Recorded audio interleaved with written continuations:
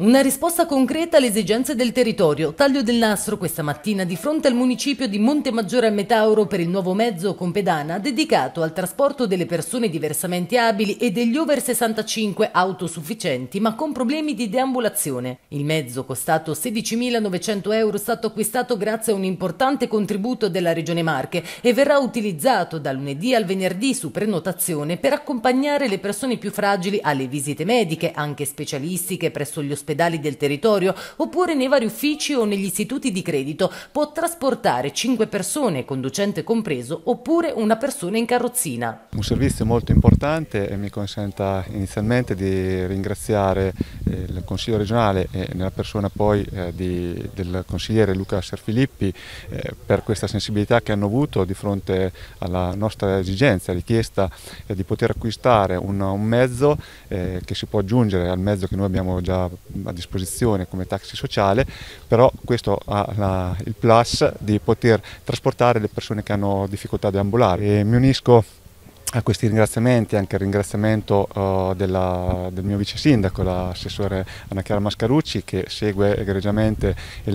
servizi sociali e, e la, con la responsabile e tutto lo staff all'interno dei servizi sociali perché eh, stanno svolgendo un'opera veramente importante sul nostro territorio a livello sociale e questo è un ulteriore tassello che si unisce alle tante iniziative eh, sociali che abbiamo nel nostro territorio e si unisce anche a una recente eh, ulteriore eh, inaugurazione che abbiamo fatto sempre sul nostro territorio, segno evidente che ci sono anche delle sensibilità eh, tra le associazioni eh, che hanno a cuore eh, la, la, il destino di quelle che sono le persone più fragili come le persone anziane e le persone disabili e si cerca di dare loro una possibilità di vita normale che purtroppo non hanno. Assessore, questo è un servizio che ne va a integrare uno già esistente? Sì, esatto, va a potenziare già il taxi sociale attivo dall'ex comune di Montemaggiore, un servizio molto importante per i nostri cittadini ultra 65 anni e anche disabili, molto utile per ad esempio andare a fare le visite, fare delle commissioni, banca, posta. Attualmente chi si occupa di questo servizio? Attualmente del servizio si occupa l'associazione Auser con dei volontari.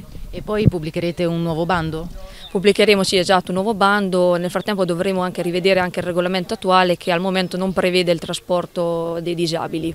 Invece com'è possibile prenotare il servizio? Per prenotare il servizio basta compilare un'apposita modulistica e successivamente basta fare una telefonata ai servizi sociali facendo lo 0721 89 29 32.